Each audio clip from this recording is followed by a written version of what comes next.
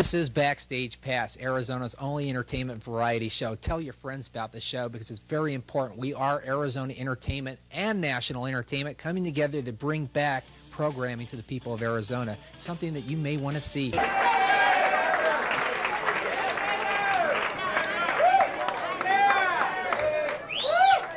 Thank you. I'm, I'm David Spade. I'm 10 years old. Kidding, 10 and a half. You know, I gotta tell you, gotta tell you something before I start. Dan Horn is gonna be on later tonight. And a funny thing happened. We went down to on Wallace and Ladmo. I went down with them yesterday. And I went down to the studio, and Dan's like very popular down there with the girls. We go through the lobby, and uh, these girls, like it's a Brownie Troop 57. These girls, Dan walks in, I'm behind him, they're all going, Oh, Dan Horn, no, stallion, oh, uh, uh, uh. And I'm going, Dan, you're kind of a stud mule around here, aren't you? And he's going, uh, you know.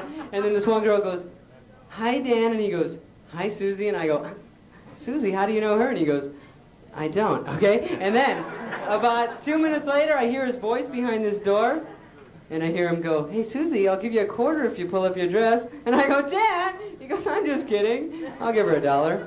So, uh, is he here? I told him I'd tell that story because it was true.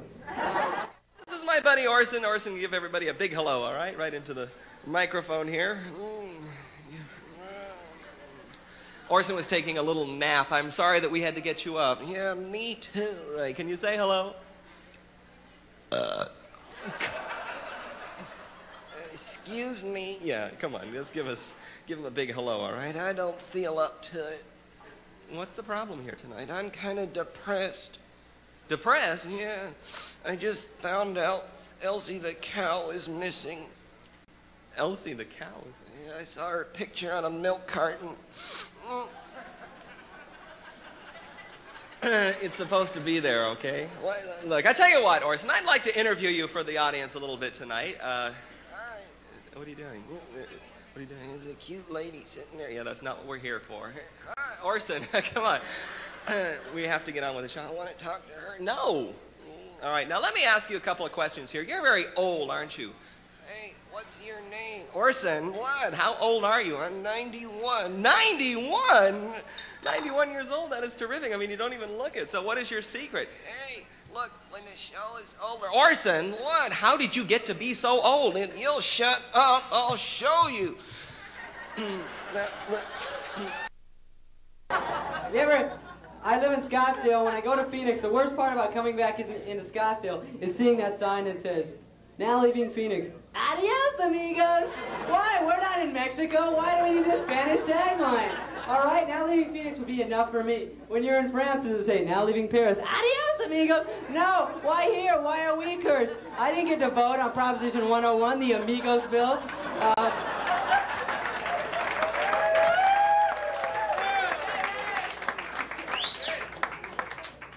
Mudbog.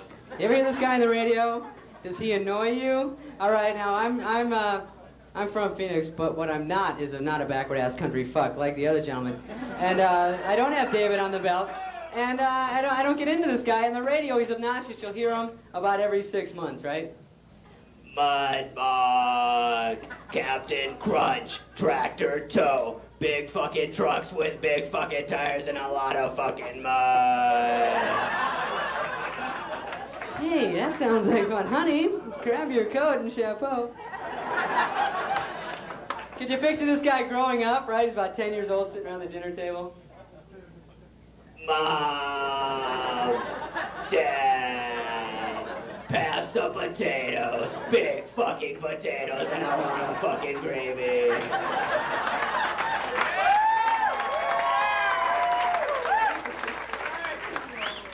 I can't picture that either. Uh, here's, a, here's a present for your Copenhagen tobacco chewing friends that don't want a ring in their pocket. It's Cope on a rope.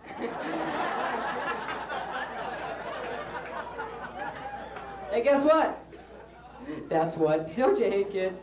You know, when I was a kid, I was the biggest pain in the ass, and I always pulled that stuff on my mom, and she has to go along with it because she's my mom, you know?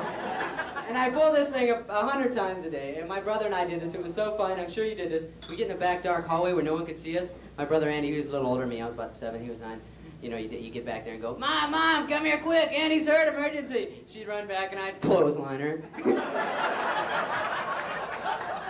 I do that? She'd get up, oh, you, oh, you boys, go make dinner. Yeah, she's a neat lady. She never caught on to that one, though. And she used to. Oh, it's my dad. Yeah, here it is. My, she used to tell me stuff. Here's a question I'm going to ask you, all right? She told me, I, I believe this stuff. If you rub your feet really hard on shag carpet and jump in a bathtub full of water, will you electrocute yourself? Yes! She told me yes, okay? And the tragic part was that I believed her. So I'd like, I'd call this back later, she'd be taking a bath, and I'd go, Mom, you better let me go to that movie or I'll jump in there and kill us both. you people don't drink and drive, do you? Oh, am I like the only one? okay, because I had to stop drinking and driving because I went to defensive driving school and they scared me out of it with movies like Wheels of Tragedy, Mechanized Death, Red Asphalt, The Last Prom. okay? It doesn't bother me to see these gory movies, right? It, it does bother me when the people who make them get a camera and follow me down Scottsdale Road. Um, just waiting for that next feature film.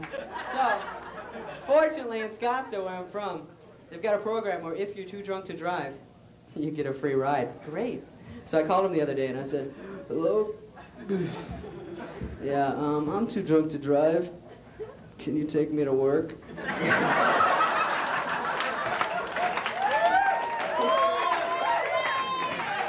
Thank you. See, they have to. You guys want to hear something funny? Yes, Dave, please, soon, something. Last Tuesday was National Corn Day, a week ago. It's true, it was on my Ziggy calendar. I wouldn't lie to you. Uh, so I wanted to do my part for this Overlook Vegetable, so I put together a little medley. I'll have Casey Kasem introduce it, the guy with the square head. Hi, I'm Casey Kasem, and welcome to American Top 40.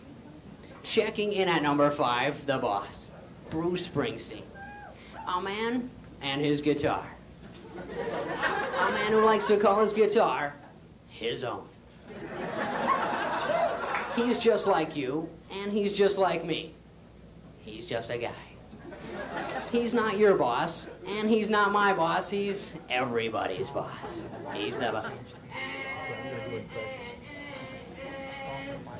Corn in the USA, I grow.